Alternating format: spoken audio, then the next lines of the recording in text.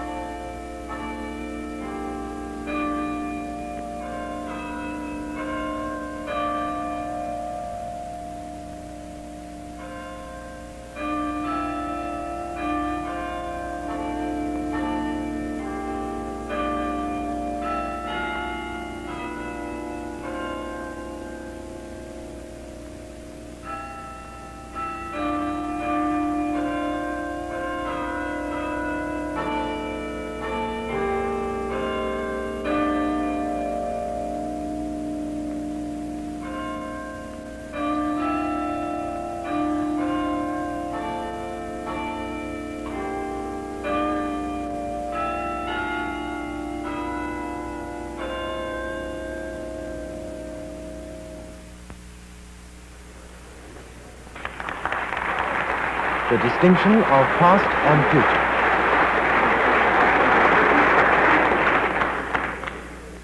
Now, it's obvious to everybody that the phenomena of the world are evidently irreversible.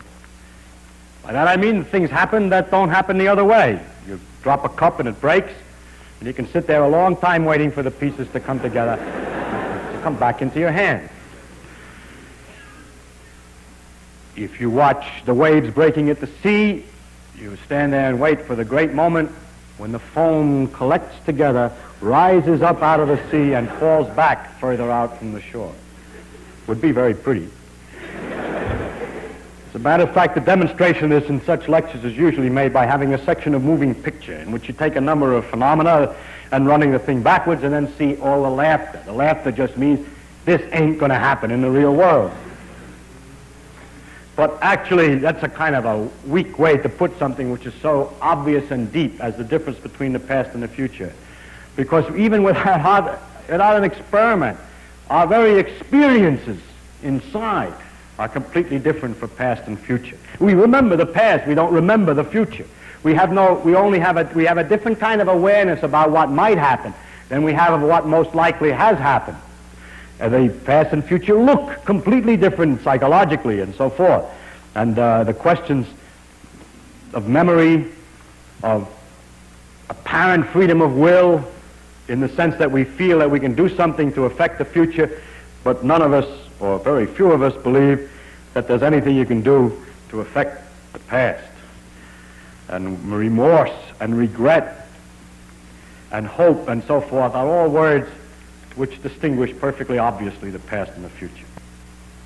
Now, if the world of nature is made of atoms, and we too are made of atoms and obey physical laws, there's obvious distinction between what happened, the past and the future, and this obvious irreversibility of all phenomena. You would think would most likely have obviously its interpretation in that some laws, some of the motion laws of the atoms are going one way. That the atom laws are not such that they can go either way that there's somewhere in the works some kind of a principle that Uxels only make Wuxels and never vice versa, and so the world is turning from Uxley character to Wuxley character all the time. And that this one-way business of the interactions of things is the thing that makes the whole phenomena of the world seem to go one way. And yet we haven't found it yet. That is, in all the laws of physics that we've found so far, there doesn't seem to be any distinction of the past and the future. That the moving picture should work the same way going both ways, and the physicist who looks at it should not laugh. Details now to be explained.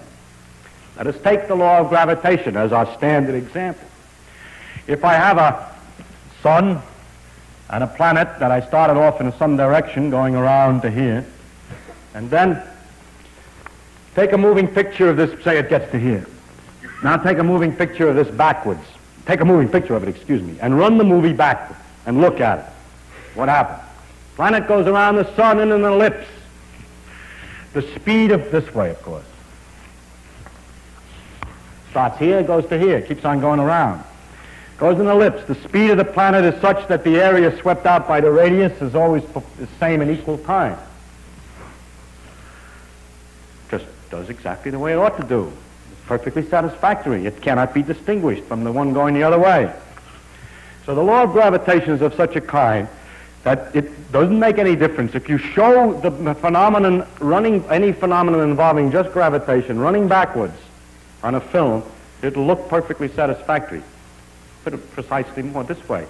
If at a given instant the particle moving this way, if all the particles in a more complicated situation would have every one of their speeds reversed suddenly, then the thing will just unwind through all the things that it wound up into.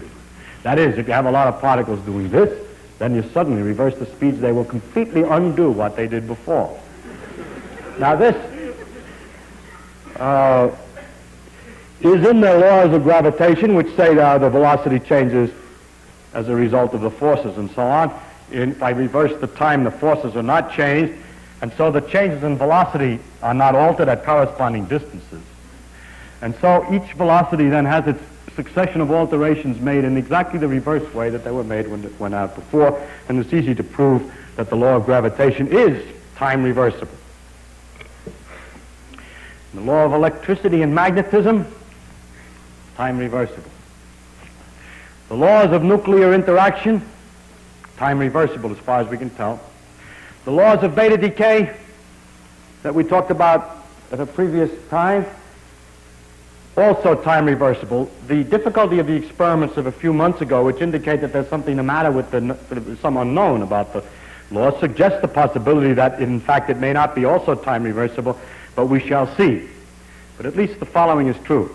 This beta decay that we're talking about, which may not be time reversible, but I don't know, is a very important phenomenon for most ordinary circumstances. The possibility of my talking to you does not depend on that happening. It does depend on chemical interactions. It depends on electrical forces. It doesn't actually depend much on nuclear forces at the moment, but it depends also on gravitation. But I am one-sided. I speak and the voice goes out into the air and doesn't come sucking back into my mouth when I open it. And this irreversibility cannot be hung on the, the phenomenon of beta decay. In other words, we believe that there are in the world most of the ordinary phenomena which are produced by atomic motions which are according to laws which couldn't be completely reversed. So we have to look some more to find the explanation. If we look at this more carefully and a planet's moving around the sun more carefully, you soon find that it isn't quite right. For example, the Earth's rotation on its axis is slightly slowing down. That's due to tidal friction. And you see that friction is something which is obviously irreversible. If I took a heavy weight on the floor here and pushed it, it would slide and stop. If I stand and wait for it, it doesn't suddenly start up and speed up and come into my hand. So a frictional effect seems to be irreversible. But a frictional effect, as we discussed at another time, is the result of enormous complexity of the interactions of the block with the wood, the, the jiggling of the atoms inside, that the organized motion of the wood, of the block, is changed into disorganized, irregular wiggle waggles of the atoms in the wood. So that therefore we should look at it, the thing more closely. As a matter of fact, we have here the clue to the apparent irreversibility. I take a simple example of, uh, for example, if we have blue water, say ink, and white water, that's water without ink, in a tank with a little separation and pull out the separation very delicately, then it starts separate blue on one side, white on the other side. Wait a while. Gradually the blue mixes up with the white. And after a while, the water is loop blue. I mean, it's sort of 50-50 a color uniformly distributed throughout. Now, if we wait long, for a long time, and watch this for a long time, it does not by itself separate. Or you can do something. You can get the blue separated again. You can evaporate the water and condense it somewhere else and collect the blue dye and dissolve it in half the water and put back this thing and so on. While you're doing all that, however, you yourself are causing irreversible phenomena somewhere else.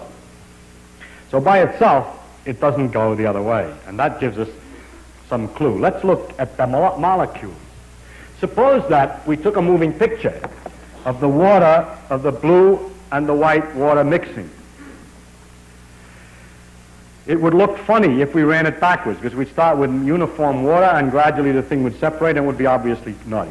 Now we magnify the picture so that every physicist can watch atom by atom to find out what happened irreversibly, where the laws of balance of forward and backward broke down. And so you start and you look at the picture and you have blue atoms. That's ridiculous, but we'll call it that. We have atoms of one kind and atoms of another kind jiggling all the time in thermal motion, wiggling, bouncing. And if we were to start at the beginning, we would have mostly atoms of one kind on one side and atoms on the other kind on the other side. Now these atoms are jiggling around. It's too small a box. You need more to get this effect. Billions and billions of these atoms. Now these atoms are jiggling around. I just put one more, but I'm getting tired of making the Now these atoms are jiggling around, and if we start all on one side and all on the other, we see, of course, that in their perpetual irregular motions, they'll get mixed up. And that's why it gets to be more or less uniformly blue. But let's watch any one collision. Here's a particular collision selected from that picture. Here's the, this molecule moving this way and this one moving this way. And they come together, say, in the moving picture, and they bounce off this way. Now you run that section of the film backwards, and you find a pair of molecules moving this way, bouncing off that way. And the physicist looks with his keen eye and measures everything and says, that's all right, that's according to the laws of physics. If two molecules came this way, they would bounce that way. And if they came that way, they would bounce this way. It's reversible according, the laws of molecular collision are reversible. So if you watch too carefully, you can't understand it at all. because every one of the collisions is absolutely reversible, and yet the whole moving picture shows something absurd, which is that the molecules start in the, in the reverse picture. The molecules start in this condition. Blue, white, blue, white, and blue, white, and so on, all mixed up. And, yet, and as time goes on, through all the collisions, the blues separate from the whites. And they can't do that. But that's not natural, that the accidents of life will be such that the blues will separate themselves from the whites. Yet, if you watch it movie, this reverse movie very carefully, every collision is okay. Well, you see that all there is to it, that the irreversibility is caused by the general accidents of life. That if you start with a thing that's, that's separated like this and just make irregular changes, it gets more uniform. But if you start with something that's uniform and make irregular changes, it doesn't get separated. It could get separated. It's not against the laws of physics that these things bounce around so that they separate. It's just unlikely. It just it never happened in a million years. And that's the answer. The things are, are irreversible only in the sense that going one way is likely to go, but going the other way, although is possible and is according to the laws of physics, wouldn't happen in a million years. It just, it's just ridiculous to expect that if you sit there long enough, the jiggling of the atoms will separate a mixture, a uniform mixture of ink and water into ink on one side and water on the other. Now, if I had put a box around here so that this was all the molecules that there were, as time went on, they would get mixed up. But if you're patient, I think you could believe that in the perpetual irregular collisions of these molecules, after some time, not necessarily a million years, maybe only a year, when you keep watching, accidentally they get back more or less like this. In the sense, at least, they get back far enough to say that if I drew a line through all the whites on one side and all the blues on the other, it's not impossible. However, the actual objects with which we work have not only four or five blues and whites, but they have four or five million, million, million, million atoms. And it's just not likely that four or five million, million, million, million are all going to get separated like this. And so the apparent irreversibility of nature does not come from the irreversibility of the fundamental physical laws. It comes from the characteristic that if we start with an ordered system and have the irregularities of, of nature bouncing, then the thing goes one way. Therefore, the next question is how did it get ordered in the first place? That is to say, why is it possible to start with the ordered? You see, the difficulty is that we start with an ordered thing, we don't end with an ordered thing. One of the rules of the world is that the conditions at the beginning, I mean that the, the thing goes from an ordered condition to a disorder. Incidentally, this word order and disorder is another one of those terms of physics which aren't exactly the same as it is in ordinary life.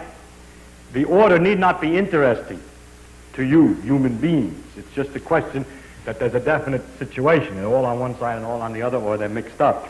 And that's the order to disorder. Maybe you like it better mixed up, but that's not more ordered anyhow. Now,